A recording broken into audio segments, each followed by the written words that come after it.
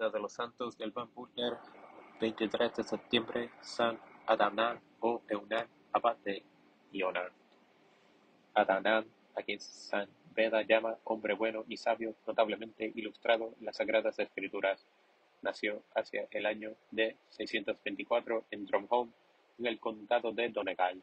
Ahí mismo fundó un monasterio e ingresó en él, pero no tardó en seguir los pasos de Colomba, su santo consanguíneo, y se retiró al monasterio de Iona, del que fue el noveno abad en el año 679.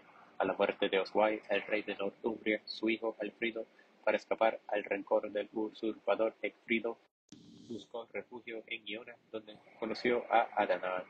Siete años más tarde, Alfredo había recuperado el trono y al requerirse los servicios de una persona capacitada para parlamentar con los de Northumbria en favor de los irlandeses a fin de negociar el rescate de algunos prisioneros, se eligió naturalmente a San Adnan. Tuvo éxito en su misión. Regresó a Inglaterra e hizo detenidas visitas a los monasterios de Bournemouth y Yarrow, donde fue visto por el joven Beda, que por entonces tenía trece años. Como resultado de aquellas visitas y de una larga conversación que mantuvo con San Seolfrido, el abad dejó de lado la costumbre de sus predecesores y adoptó la verdadera fecha para celebrar la Pascua. A su monasterio hizo todo cuanto estuvo de su parte para que los monjes de Iona adaptasen también la nueva fecha, pero sin mucho éxito. Después de su fracaso por convertir a los monjes celtas a las costumbres romanas, San Adanab pasó una larga temporada en Irlanda. Durante el concilio de Bir llegó a convencer a la asamblea de que las mujeres no debían tomar parte en las guerras y que ni ellas ni los niños debían perecer en la lucha y ser tomados prisioneros en honor suyo.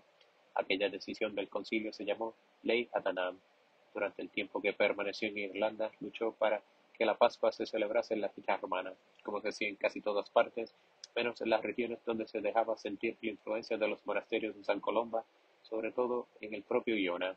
Hizo un vano intento final para superar la oposición de su comunidad y como dice su biografía, sucedió que le llegó el momento de partir de este mundo antes de que comenzara el año siguiente, porque así lo ordenó la divina bondad al ver que era un hombre amante de la paz y la unidad, y merecía llegar a la vida eterna sin verse obligado por el arribo de la siguiente fecha de la Pascua, a disputar más seriamente con los que se obstinaban en no seguirle. Su muerte ocurrió el 23 de septiembre de 704 un santo varón de lágrimas y penitencias, dedicado en la plegaria, diligente, mortificado y sabio en las sagradas escrituras de Dios. Fue el más brillante de los superiores de Iona después de San Colomba. Era un escritor e investigador infatigable. En uno de sus escritos se refiere a las tablillas, plumas, espinos y cuernos para tinta que había en el escritorio de Iona, aparte de los instrumentos de que él mismo se servía para escribir y que a veces fabricaba con sus manos.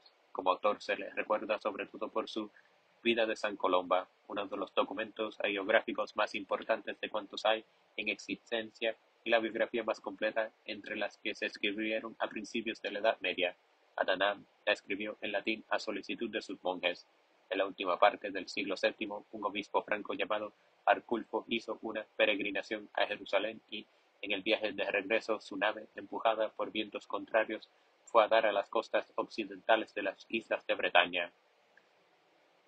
Después de muchas aventuras, Arculfo llamó a las puertas del monasterio de Iona, donde fue cordialmente acogido e hizo para beneficio de los monjes un detallado relato sobre todo lo que había visto y lo que le había ocurrido en el oriente. San Ananán escribió aquellas narraciones y así compuso su otra obra bien conocida, Losis Sanctis, que, con el correr del tiempo, resultó benéfica para muchos, especialmente para los que estaban lejos de aquellos lugares donde vivieron los patriarcas y los apóstoles y nunca podrían conocer nada de ello, a no ser por las lecturas. El libro fue presentado por Ananam al rey Alfredo y por su intermedio llegó a manos de personajes de menor calidad, y hasta nuestros días los estudiosos lo leen a menudo.